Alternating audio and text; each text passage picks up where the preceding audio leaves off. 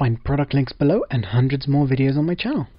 Hi everyone, welcome back. So today I'm going to be showing you a very simple but very useful lighting setup and I'm going to be using the big uh, reflector, the big seven-sided reflector from Pixapro. But of course you could use something else if you're really on a budget. Of course you could use like a, like a white sheet or something and, uh, and still have the same lighting setup. But this is something that you could very, very quickly and easily take to a location or you know set up uh, maybe in the studio very quickly or you know whatever the needs might be or the reason for actually doing it this way.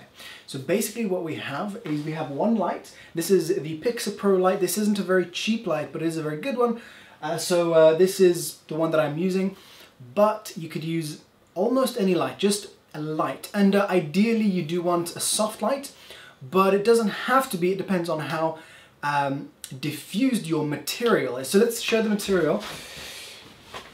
This is what I'm going to be using. It's a big diffusion panel. This in the film industry is called a scrim, and then in the photography industry it's called a shoot-through reflector.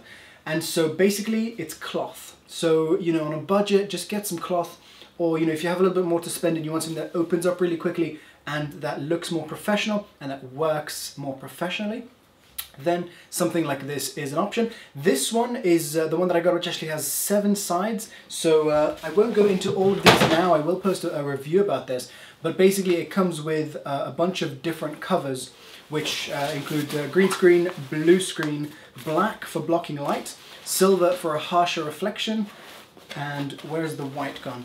White for a more diffused reflection and gold for a warm reflection. So uh, very, very useful. And then of course the, uh, the shoot through. So really useful, really high quality piece of gear. Uh, there'll be a link down below to the full review once that is uh, up, once that's online. And uh, okay, so let's take a look at the sliding setup. We've got this big thing. And of course this is uh, this is one of the biggest ones you can get. I'm not sure if you can get bigger, probably you can. But uh, this one is about two meters by one and a half. And so this is a great size to uh, do something like this with.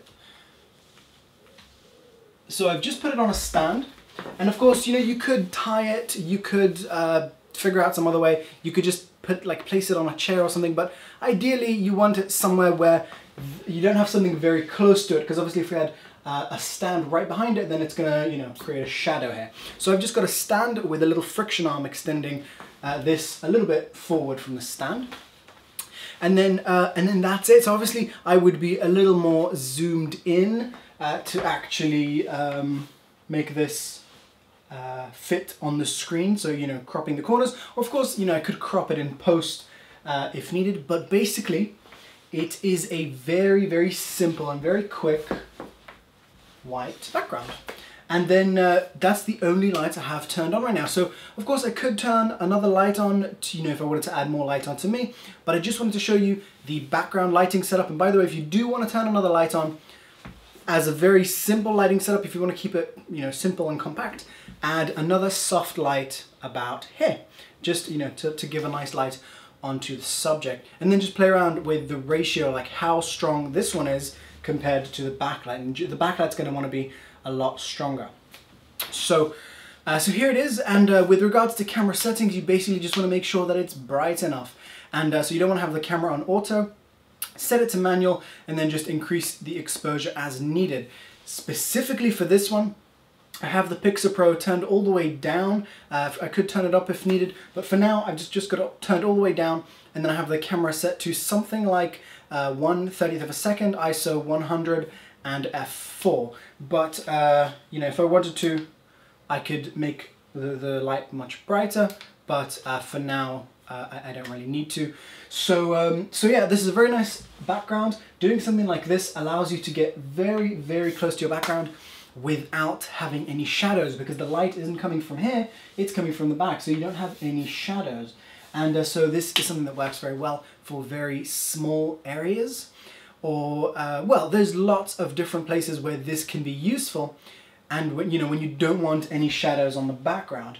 And so of course, sometimes it is needed to maybe put a big piece of paper if you want the light to go uh, like a white background that goes all the way under someone's feet But for something simple and quick, this is really lovely, very similar to the table that I shoot on, the glass table, which I've posted a video about before. And so this is something I really like. And by the way, you can do this with paper too, but then paper usually takes more light to actually get the light to show through the paper. Of course, depends what kind of paper it is. But basically, I really like this and I hope you guys have found this video helpful. You can find links down below as usual. Don't forget to subscribe and check out my other videos and I'll see you guys soon. Bye!